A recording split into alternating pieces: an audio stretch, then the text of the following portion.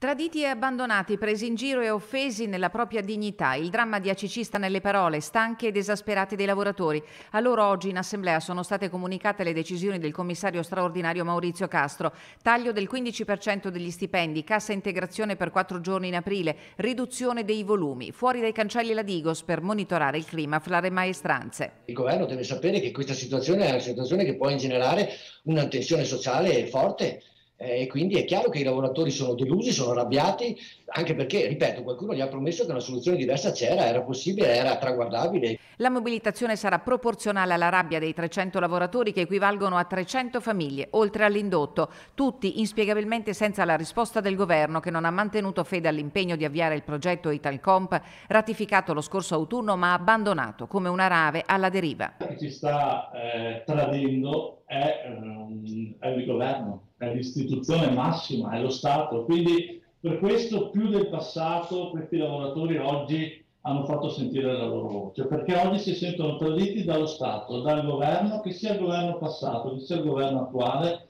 vengono traditi dalle istituzioni. Una fabbrica che ha prodotto più e meglio di prima e dalle quali ieri è uscito il primo bancale di compressore a velocità variabile destinato al mercato medio-alto. Un paradosso. Sul banco degli imputati politica, istituzioni e banche, silenti di fronte alla storia industriale della provincia di Belluno a fronte di una garanzia dello Stato non c'è nessuna uh, alibi per le banche. Il primo finanziatore del progetto Italcamp sono stati proprio i lavoratori di Ombao ACC che grazie a loro oh, grazie, eh, che sono stati costretti a rinunciare a parte del loro stipendio per poter far andare avanti il progetto.